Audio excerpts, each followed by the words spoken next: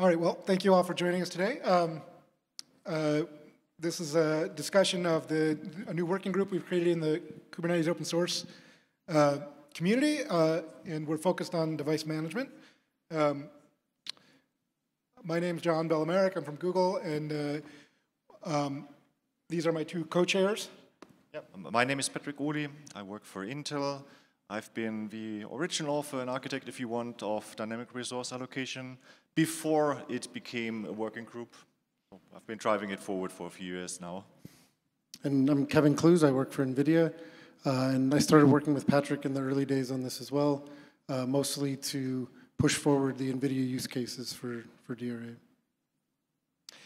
So what is uh, the working group device management and why, are we, why do we exist? I mean, the, the, the short answer, this is our sort of mission statement. It's enabling um, simple and efficient configuration sharing and allocation of accelerators and other specialized devices. So this grew out of uh, discussions. DRA has been worked on for a few years, as Patrick was saying, but we realized that we, we needed a place in the community um, to kind of bring together all the use cases and all the different vendors and all the different stakeholders. So back in um, KubeCon EU um, earlier this year, uh, after those discussions, we decided to form a working group. Um, and the primary thing we're working on is DRA right now, and we may disband after DRA is complete, but there are potentially other um, areas that are within scope, so we'll make that decision uh, in a year or two when we've finished what we're working on. Um, in any case, uh, it's a joint effort between a bunch of different SIGs, and um, I do want to emphasize that although our primary use cases, because of where our uh, market is today, is around GPUs. Um, this also includes NICs, uh, FPGAs, even network-attached devices. Um, mental model is usually cards in a in a no in a in a in a box, but it actually can be other things as well. So, as I said, DRA is the main thing we've been focusing on, and what exactly is is this dynamic resource allocation? I think the easiest way to conceive of it is sort of these, these four parts that are on the screen here. One is an API, a new Kubernetes API, which vendors and, uh, can use to describe their devices. So rather than just saying this is, we have five NVIDIA GPUs, which is how we would do it, say, today with device plugin, um, we have a much richer uh, API for describing the devices, adding a bunch of metadata, and um, inf other information about, about the devices and how they're connected and interconnected within the node. Um, the, the flip side of that um, is the new Kubernetes API for users to make requests of those devices. So this is really the same pattern we had already in Kubernetes with device plugin. Device pu plugin published basic information about the number of devices you had. You could use your your, your requests and limits to ask for a number of those devices. But the API there was very thin. It was basically just a name and account, you know, as an extended resource, and then maybe node labels um, uh, compose the entire API. And it didn't offer a lot of flexibility in the kind of um, devices you could represent in that model, uh, it, nor in sort of the way that you could ask for them. So as an example here, you can see, rather than asking for you know, an NVIDIA GPU, you can say, I want an NVIDIA GPU with at least 30 gigs of memory.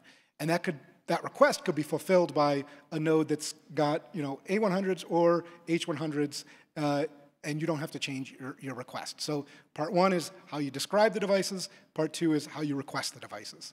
Of course, that means we need a scheduler. The other sort of big change we made, in addition to making that API more expressive, those two APIs, we changed the algorithm so that the choice of which devices get assigned to your pod is done in the scheduler rather than in the driver on the node. So device plugin makes that decision on the node of which specific devices are, are chosen, whereas DRA makes that, makes that decision in the scheduler. And that allows us to add additional logic, scoring, and satisfy those sort of underspecified requests in part two. And then part four, of course, is we have to actually actuate this. We have to, we have to plumb the devices into the pods and containers. And so that's, that's requires a new API on the, uh, on the, on the node side. So I now do have the honor and the pleasure to announce that DRA actually is beta in 132. the corresponding pull request got merged middle of last week, well before code freeze. That's a new one for me.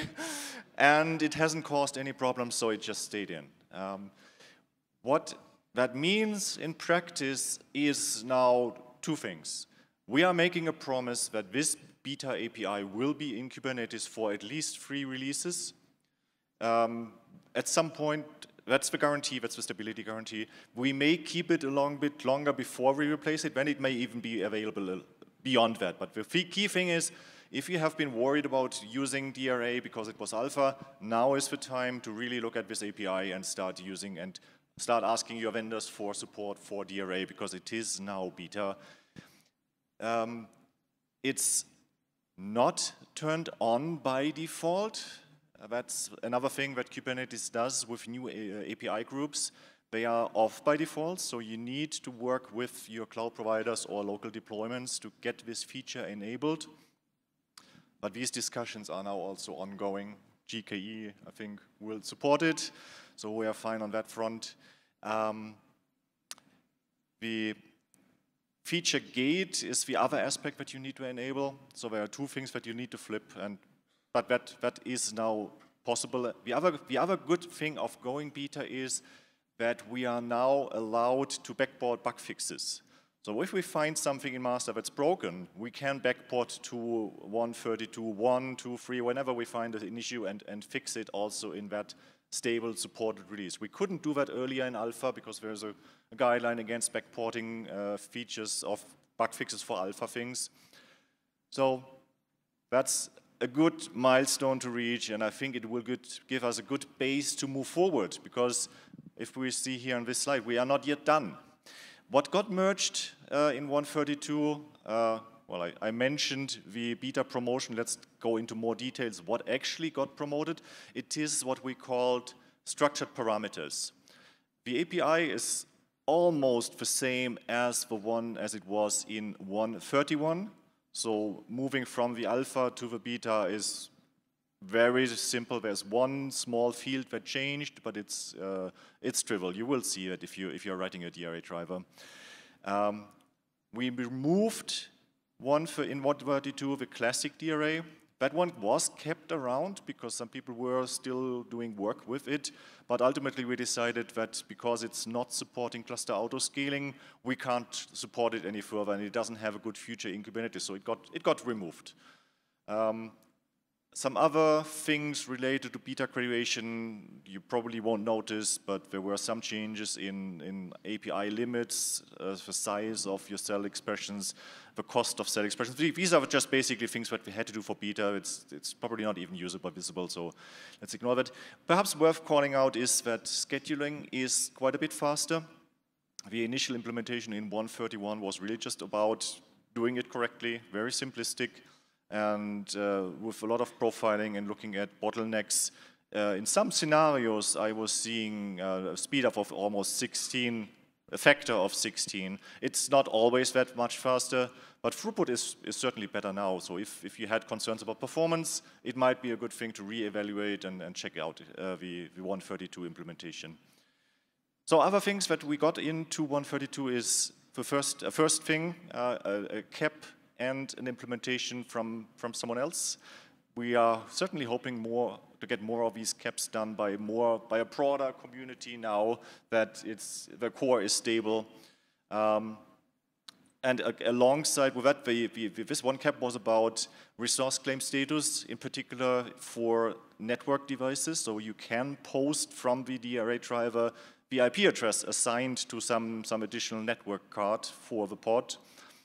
Um, and then the other thing is also for relevant for beta is that we now have a good plan. We have all the code in 132 for the cluster autoscaler to support DRA. And there is a prototype in the autoscaler code itself that uses that. So we, we are expecting cluster autoscaler support for DRA shortly after the, the 132 release. So that's the in-tree part. The out-of-tree part is that we, of course, need DRA drivers, because without drivers, DRA doesn't do anything. We do have the example driver that we are updating as a, as a reference for potential DRA driver developers. Uh, like the Intel DRA drivers and the NVIDIA DRA drivers, both drivers are currently based on the 131 alpha API. They still need to be updated to support beta, at which point uh, they'll probably only support the beta. There's no good way to support alpha and beta in the same driver, so you would need, we would need to maintain different, different releases, but that pain is going away until, uh, as soon as we all focus on, on the beta API.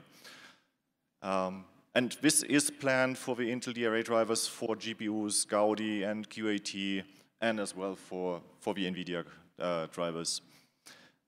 Then in progress for the first time is, is a, a driver that does uh, handles networking, and that is under exploration. So that's, that's a bit less mature than the other drivers, and the same for the Google TPU driver.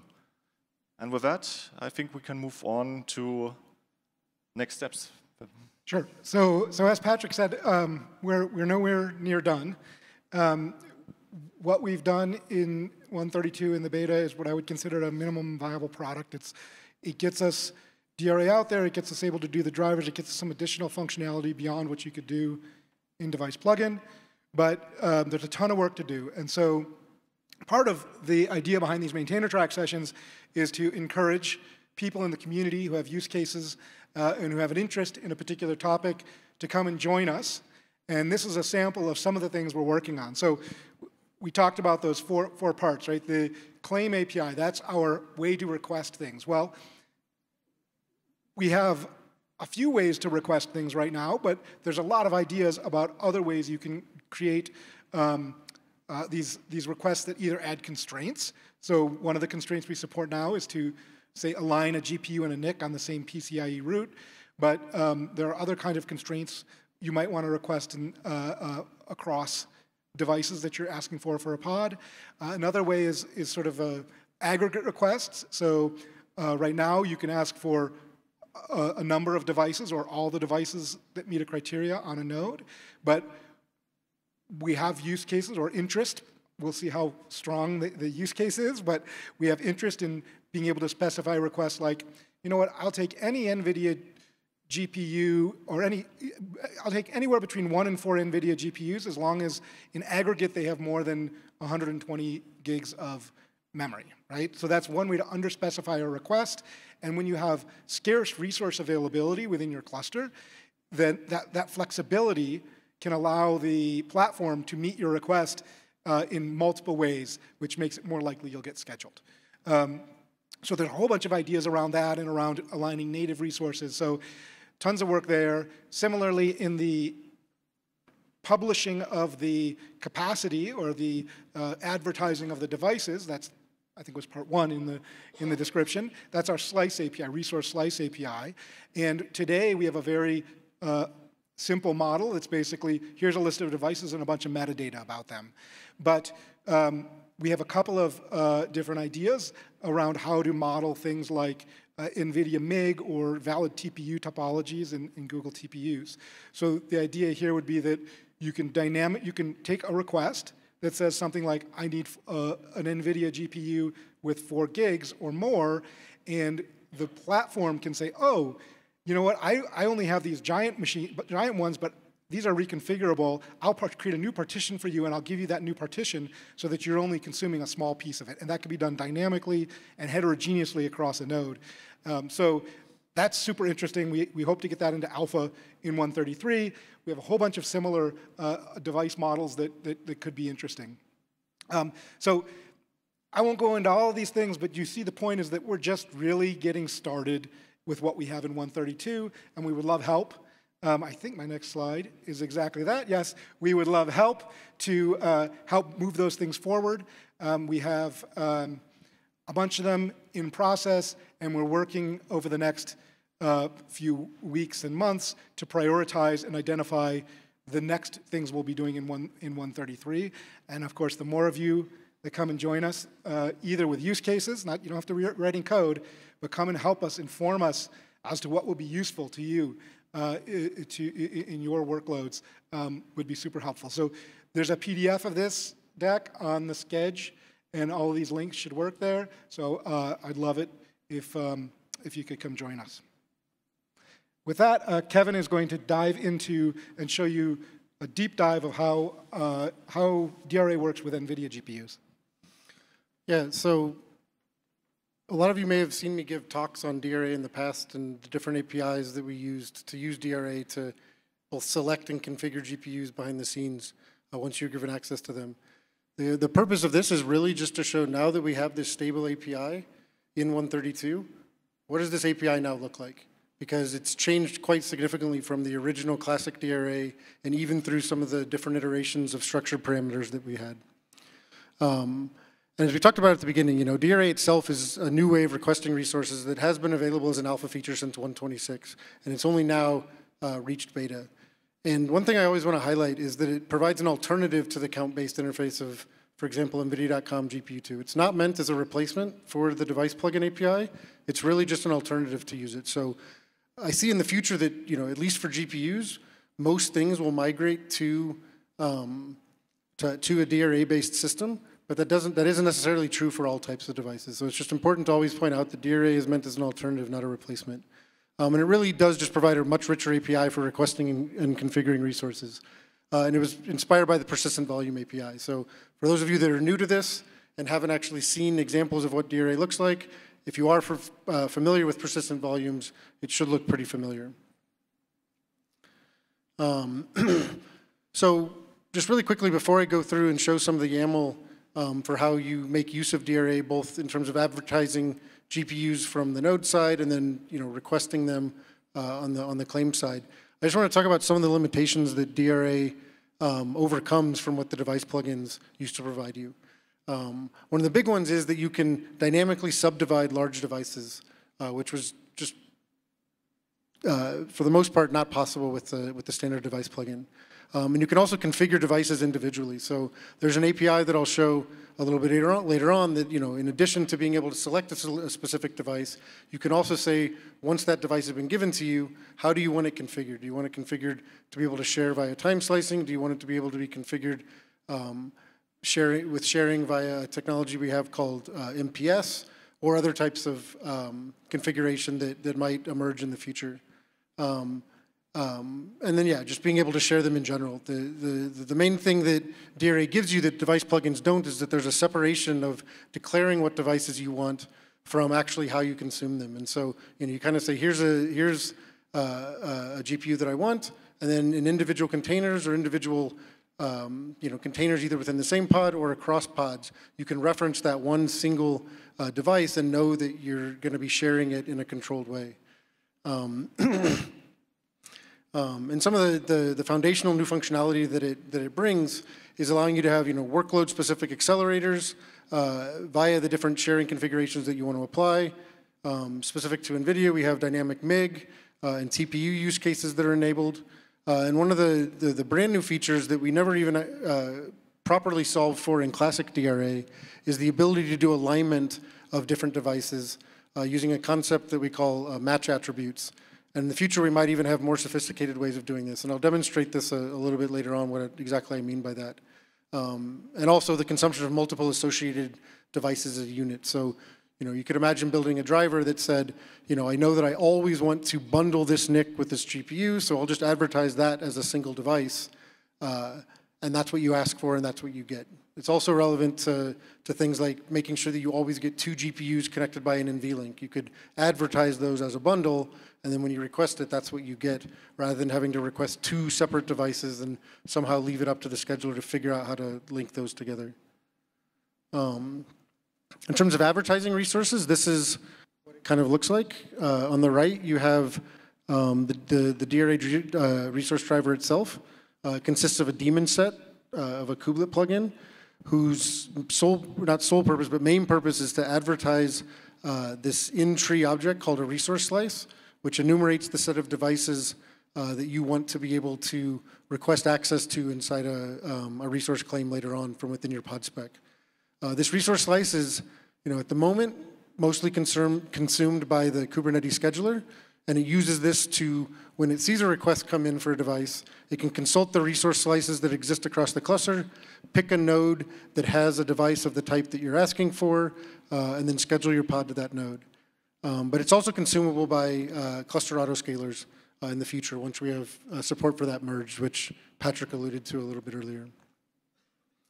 Um, on the request side, uh, this is, uh, for the most part, what it looks like. Again, on the right, uh, you have the pod spec, and there's a new section inside the, the, the resources stanza from your pod spec called claims, which points at a separate object called a resource claim which is used to provide all of the selection and configuration criteria for the device that you're trying to get access to.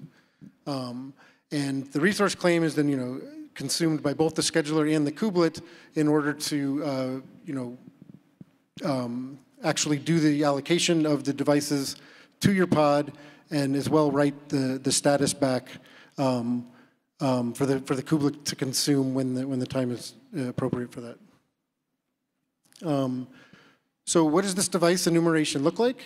Um, this is an example of what it would look like uh, in terms of NVIDIA GPUs. So uh, the main thing to note on this is that, you know, at the top we see that, you know, this is a resource slice that we're advertising. Uh, it's associated with some specific driver. In this case, it's the gpu.nvidia.com driver. And um, what it does is it enumerates a named list of different devices that have a set of attributes and capacities associated with it. And the example I'm showing here, I'm just going to highlight uh, two of those attributes and capacities. Uh, one is the model name for this GPU. Uh, in this example, I'm showing a GH200 96 gigabyte uh, GPU. This just happened to be the machine I was running on when I uh, generated this. Uh, and you know, underneath the capacity section, you see that it has 96 gigabytes of memory. Um, I'm not going to go into the details today of why we separated this notion of attributes and capacities out, but from, from, from at a high level, things that you could imagine being consumed uh, by an end user get put into the capacity section, and things that um, are kind of just generically associated with the device you put in the attributes section. um, so on the flip side of this, uh, you know, something that's also install, installed by the specific driver itself is this notion of a device class. And so the device class that I'm showing here um, has the name gpu.nvidia.com. Um, that's different than the driver name. Most of the time, you'll probably have these two being called the same, but they don't have to be called the same.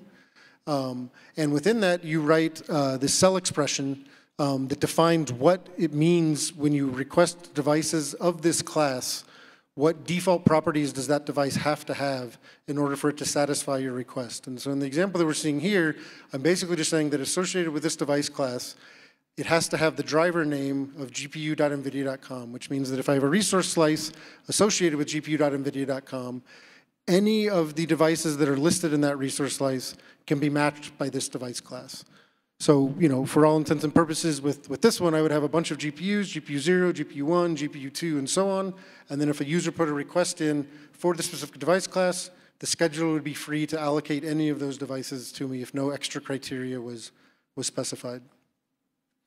Um, this is an example of actually um, making use of this from the, from the consumer side. Um, so at the top, I'm creating a resource claim, which I'm calling shared GPU. I'm then associating this resource claim with this gpu.nvidia.com uh, resource class, which I just showed on the last slide, which, you know, given the example that I showed, would allow the scheduler to allocate any of the devices that were in, a slice that was associated with this driver. And then at the bottom, I have a pod, um, which has this new section at the bottom called resource claims, which has a reference back to that top level resource claim object. It has a local name associated with that called GPU, and then any of the containers that I want to have access to the shared GPU just reference uh, that resource claim by that local name. And under the hood, they're getting shared access to the exact same underlying GPU. And so, you know, as I mentioned before, one of the main advantages of this over something that like the device plugin could give you is that you get fine-grained control of how you share these GPUs, right? Um, because you know that when you reference that, you're actually running on the exact same piece of hardware that's been bound to that claim. Um, this isn't necessarily just within a single pod. You can do this across pods. So this you know, top-level resource claim object can both be referenced in the resource claim section of two separate pods, and then you, in the containers associated with those pods, they just have a reference to the local name, and they, once again, are running on the same underlying uh, GPU that's been bound to that claim. Um, I don't show it in, in these slides at all, but one important thing to note is that uh, resource claims are um, within a specific namespace. So if you have a resource claim created in one namespace, it can't be used in another namespace. And so it adds an extra level of, um, um, of security in terms of who actually can access the resource claims that you've had, or the GPUs that you've had bound to one of the resource claims that you've created. Um, so going back to this example I showed about uh, with the device class that has this CEL expression saying that you know if you get it, if you ask for a GPU from the gpu.nvidia.com device class, you will get any of the devices that are associated with that.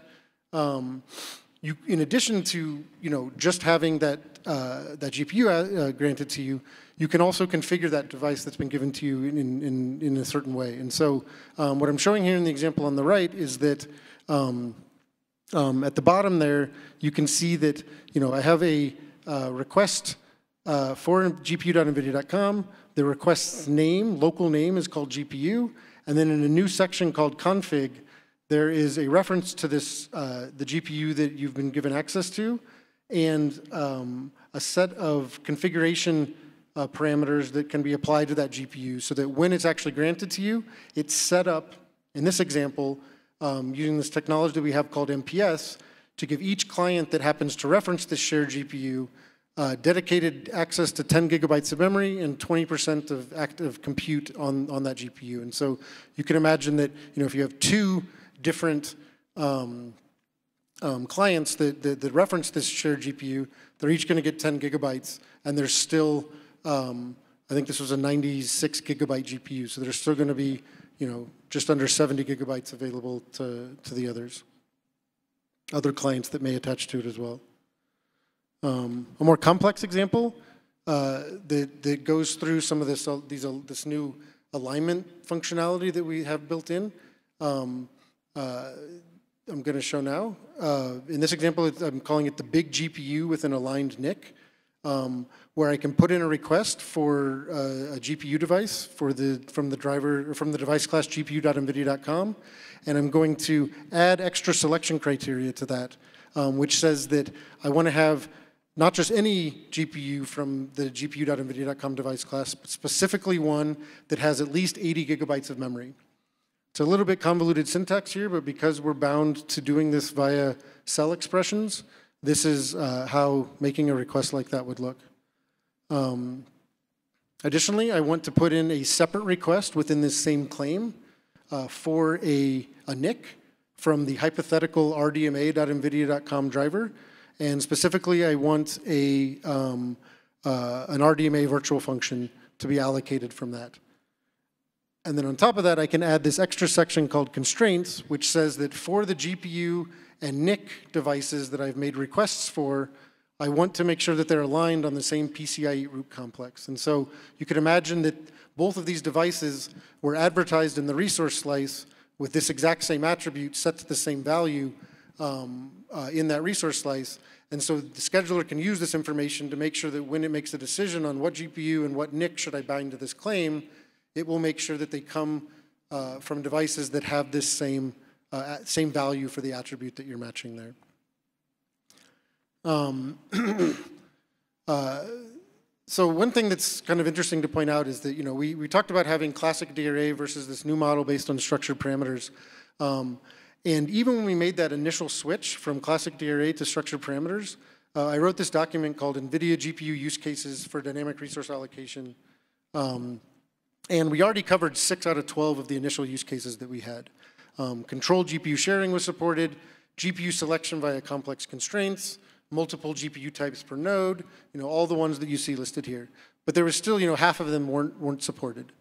Um, in 131, we were actually able to add, you know, three more of these, of these 12 use cases. Uh, and by 133, we plan to have all but one of them supported, where the last one is really hard to support in general and probably most likely never will be. Um, but one thing I want to highlight uh, just really quickly is a new use case that was kind of um, identified after, after the point in time when I wrote that initial document is that um, with the new GB200 systems that we have coming out, there's this notion of something called multi-node NVLink associated with them. Um, and in order to make use of multi-node NVLink, you have to actually allocate a non-node local resource to allow a GPU on one node to securely communicate with a GPU on another node over this high bandwidth in NVLink. And DRA enables this use case, whereas there's no other in-tree native primitive, you know, kind of Kubernetes native way to do this. Um, and so it's just an interesting use case, especially because it's one of the first concrete use cases we have for non-node local resources. Uh, and I'm going to be talking about this at the Google booth on Friday um, in conjunction with, with, a, with a bunch of other people, um, um uh, specifically as it pertains to, to GKE. Um, there's also a bunch of other uh, talks that we have uh, related to DRA at this conference.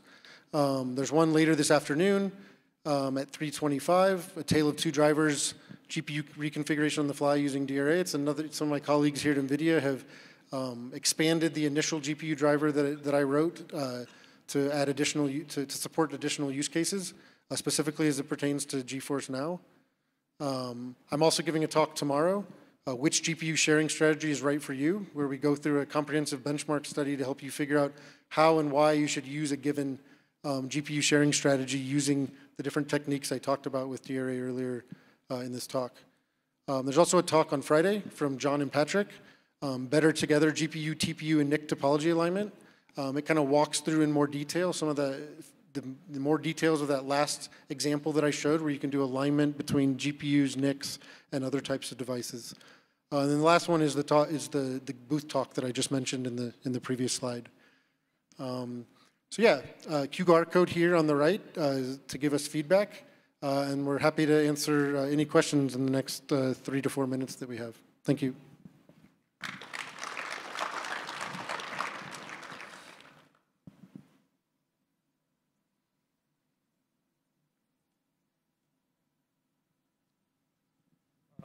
Hi, so, um, I'm a potential DRA driver developer, and I see. Can you speak a little more closely to the? Yeah, um, I'm potential DRA driver developer.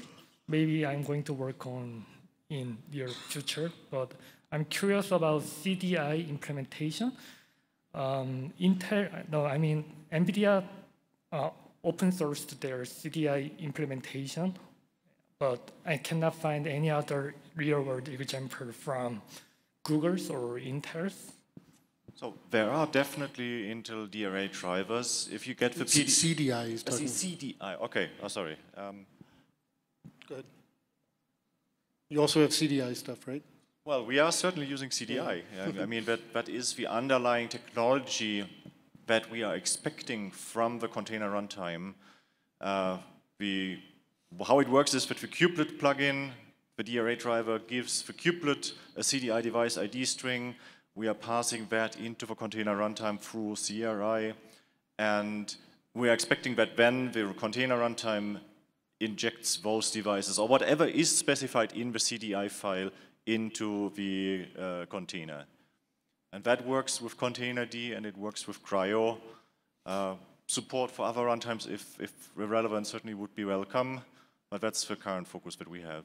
Your, your driver has to understand how to map those device IDs back to whatever it, it the, the, the, the claim and, and the, the device uh, um, as it's represented inside your driver. Yeah. Okay, thanks. Hi, I have a question on the.